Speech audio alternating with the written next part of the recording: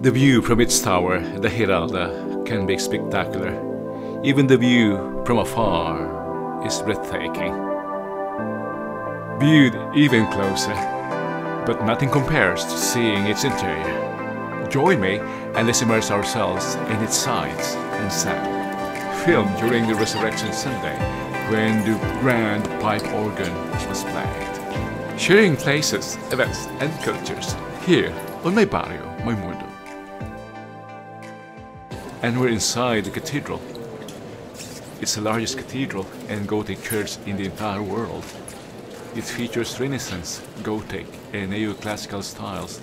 It's built between 1401 to 1506, and it is the fourth largest church in the world. The cathedral was built on the site of the former Almohad Mosque after the conquest of Seville from the Moors by Ferdinand III. Over the course of history, the chapels and chambers inside the cathedral have also been burial grounds for many famous people, including Christopher Columbus.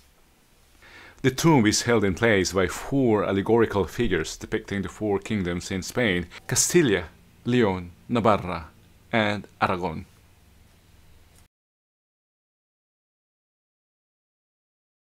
The cathedral has been registered as a UNESCO World Heritage Site along with the Alcazar, for which we have a full tour video, link in the description box and also above.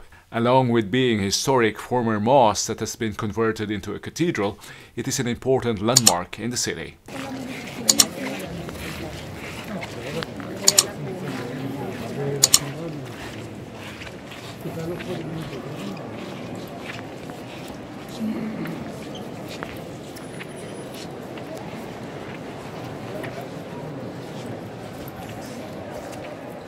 I'll stop the commentary for us to enjoy the playing of the organ during the Mass.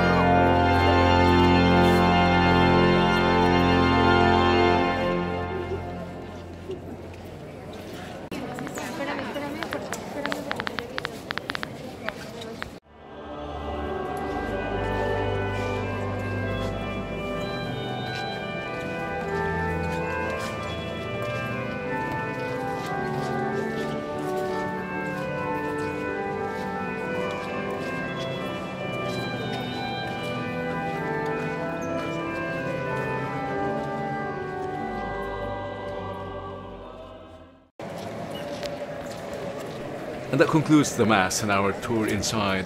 But join me outside, there's a bigger event. Or equally big event, I should say. The procession. Which are big in Sevilla. Let's go outside. Join me.